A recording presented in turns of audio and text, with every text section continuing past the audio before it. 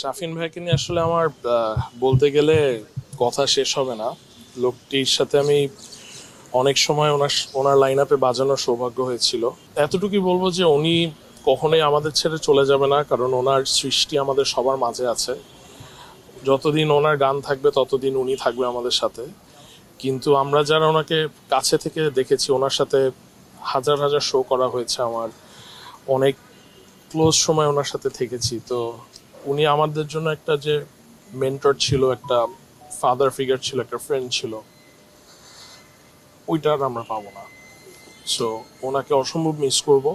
শেষ সময় আমার এতটুকুই মনে পড়ে যে, ভাইয়ার লাইন আপ আমার ছেড়ে দিতে হয়েছিল আমার কিছু পার্সোনাল ফ্যামিলি কমিটমেন্টের জন্য। তখন ভাইয়া শুধু একটা কথাই বলেছিল যে ফ্যামিলি ঠিক থাকবে ফ্যামিলিকে ঠিক রাখবি এবং নিজের অরিজিনাল কিছু একটা করে থাকবি, মৌলিক কিছু কাজ করবি যেন মানুষ তোকে মনে রাখে। আমার দাদা বাড়িতে আমরা সবসময় যখন ঈদের ছুটিতে যেতাম, তখন একসাথে আমরা অনেক দরুদ শরীফ পড়তাম, মগরেব পড়তাম একসাথে, অনেক গান বাজনা হতো।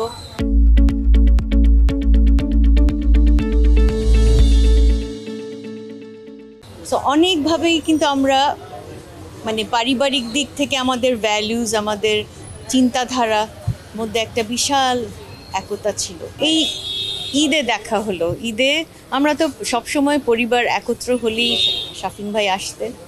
তো ঈদে দেখা হলো, তখন কথা হলো, কেমন চলছে গান, আমার গান কেমন চলছে? গান বাজনা নিয়ে একটু আলোচনা হয় থেকে থেকে। এটাই বলব যে এত রিসেন্ট যে আমি ভাবতেও পারছি না যে উনি নাই। কি বলব? আজকে একজনের জায়নাজা পড়তে এসেছি, আরেকজনের মৃত্যুর খবর শুনেছি। আমাদের সঙ্গীতাঙ্গনের অনেক বড় কিছু হারিয়েছে। প্রথমে স্বামী শাফিন ভাই, আমাদের চট্টগ্রাম মিউজিক্যাল ক্লাব অ্যাসোসিয়েশনের পক্ষ থেকে আমি সভাপতি হিসাবে, এই ক্লাবের পক্ষ থেকে আমি ওনার বিদেহী আত্মার মাগফেরাত কামনা করছি। আর ওনাকে যেন আল্লাহ জান্নাতুল ফেরদৌস নসিব করেন। এতটুকুই সঙ্গীতানের অঙ্গনের অনেক বড় ক্ষতি, এত বড় একজন লেজেন্ড শাফিন শাফিন ভাই চলে গেছেন আমাদেরকে ছেড়ে। তারপরে হচ্ছে কি আবার এসে শুনলাম আমাদের জুয়েল ভাই চলে গেছেন। ওনারও বিদেহাত্মার মাগফিরাত কামনা করছে। এত ভালো মানুষ, অসম্ভব ভালো মানুষ নয়, শুধু একজন সঙ্গীতের ডেলিগেটেড একজন সঙ্গীতের মানুষ চলে গেছেন লিজেন্ড আল্লাহ যাতে ওনাকেও জান্নাতুল ফেরদৌস নসিব করেন এবং ওনার মাগফিরাত কামনা করছি। ধন্যবাদ, আপনারা সবাই দোয়া করবেন এই ভালো মানুষটার জন্য, জুয়েল ভাই এবং শাফিন ভাইয়ের জন্য।